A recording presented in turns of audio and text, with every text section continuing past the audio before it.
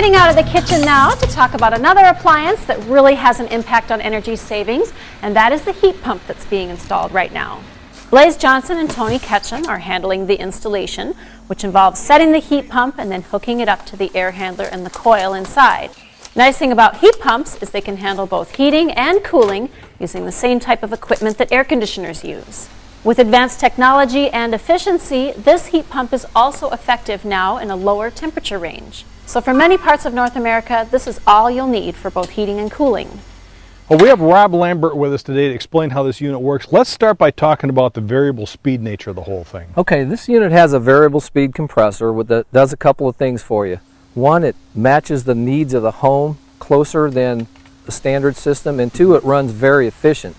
This unit and every other air conditioner and heat pump out there has a compressor in it. Now I brought a cutaway compressor here to kind of show the, some of the differences between what this unit has and what normal have because it's kind of buried underneath some sound protective equipment in there. But uh, as far as the scroll piece, the piece that does the pumping of the refrigerant in and out, that is identical really to a scroll compressor. There's millions of them out there in the field today. Uh, very highly reliable compressor.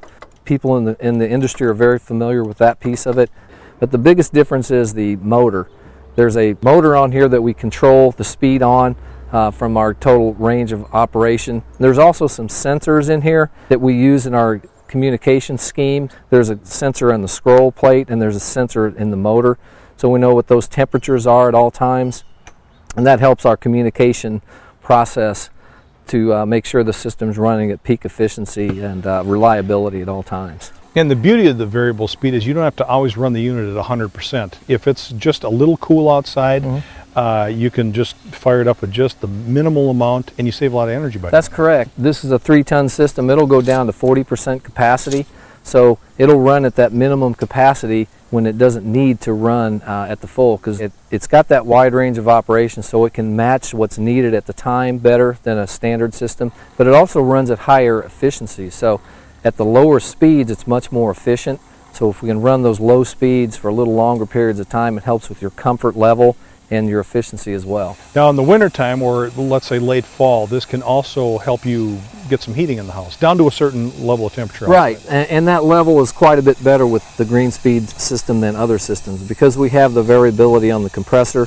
So as it gets colder outside, it's smart enough to know it's able to run at higher speeds to bring that heat.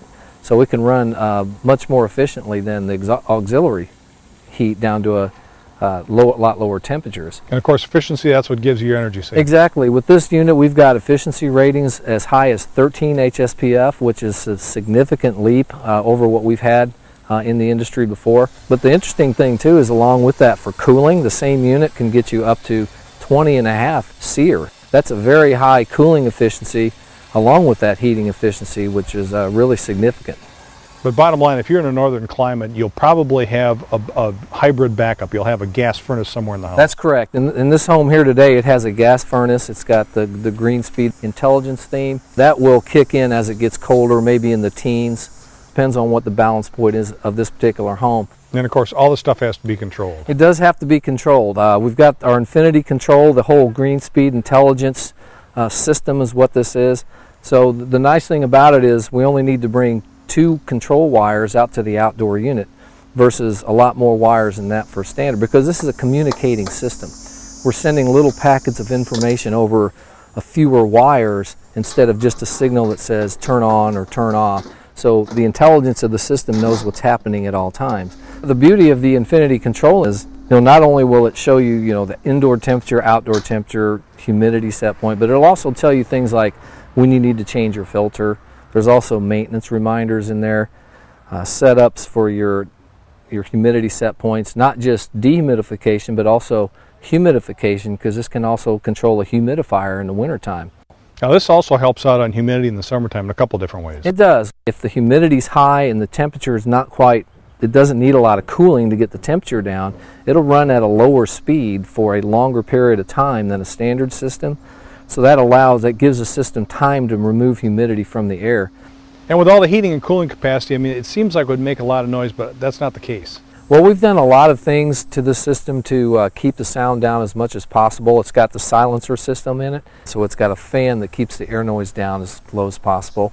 We put double insulating sound blanket over the compressor to keep the sound level down. We've got a laminated sound plate in between the compressor and the base pan. All of those things absorb vibration, absorb the sound that emanates from the unit, and keeps it as quiet as possible in both cooling and heating modes. Well, thanks so much for joining us. You're welcome.